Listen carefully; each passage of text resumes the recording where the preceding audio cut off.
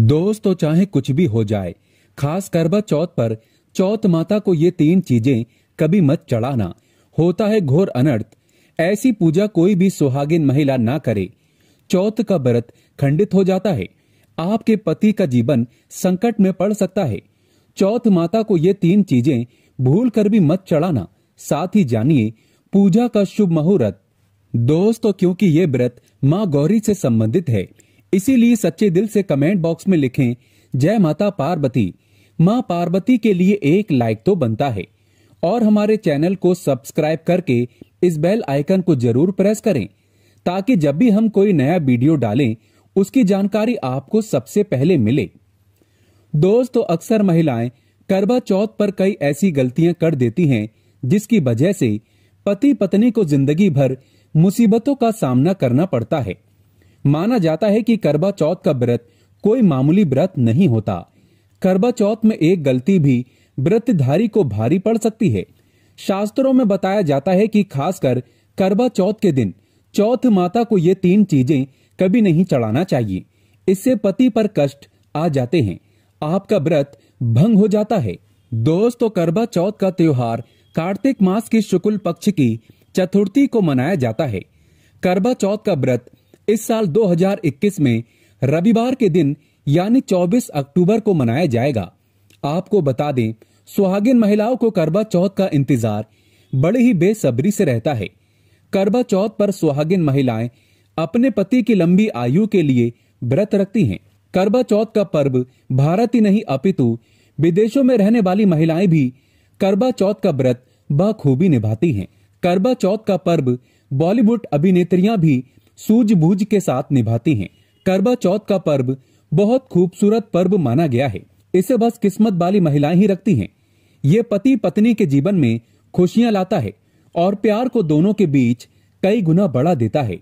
ये व्रत पति भी पत्नी के लिए रख सकते हैं। दोस्तों, इस बार 2021 में करवा चौथ की पूजा का शुभ मुहूर्त है। शाम पाँच बजकर तैतालीस मिनट से लेकर शाम छह बजकर उनसठ मिनट तक।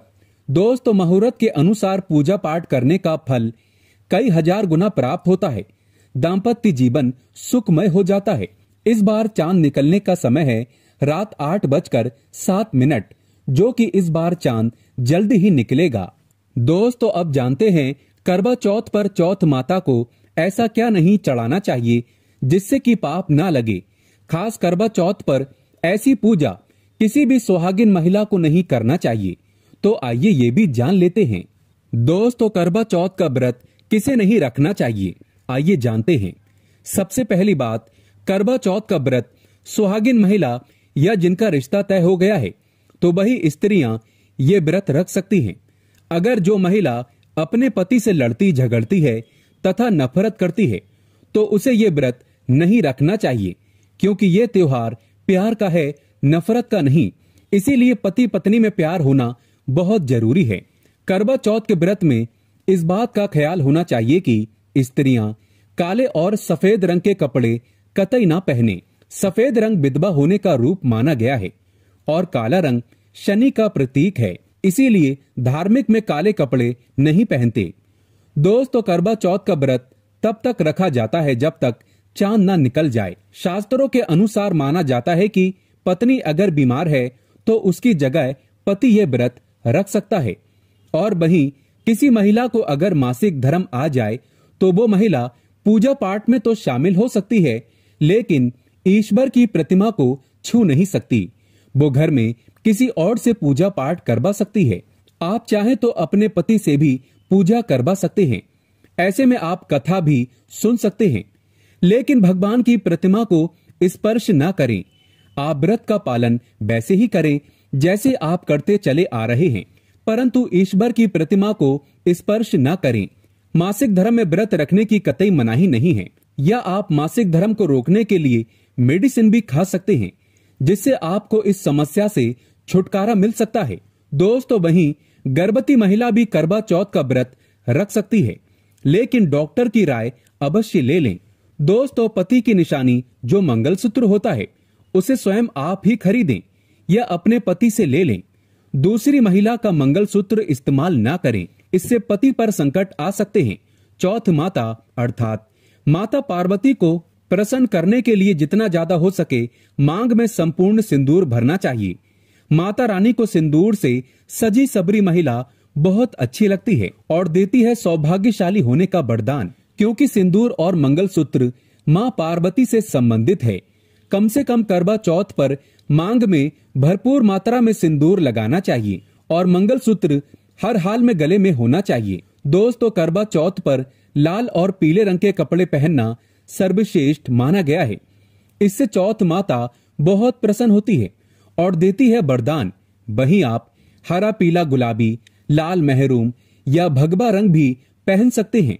भगवा रंग बहुत ही शुभ और मंगलकारी माना गया है। दोस्तों वहीं अगर आपके पास शादी का पुराना जोड़ा रखा है तो बहुत ही शुभ माना गया है।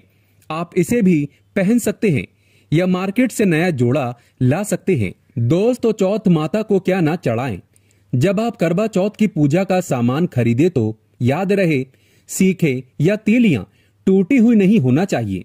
जो कि हम दिखा रहे हैं, इन सीखों की संख्या सात भी हो सकती है, और कुछ लोग आठ भी इस्तेमाल करते हैं।